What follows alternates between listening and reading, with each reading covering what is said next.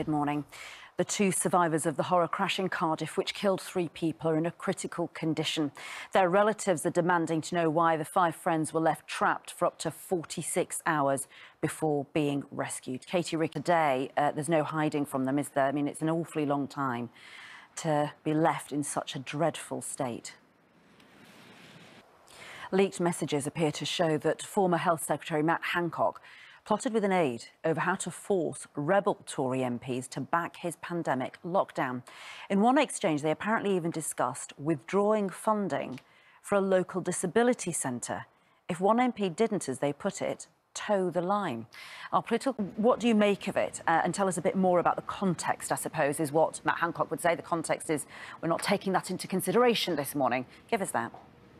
Elsewhere this morning, black and Asian children are more likely to go missing for longer than white children and are less likely to be found by the police. As the finding of a report by the charity Missing People, which describes the differences as worrying. Pip Tomson explains. Talks will take place today to try and stop more story of Maggie Aderin-Pocock, of course, but we've covered that a lot. But I have dug out another Barbie doll.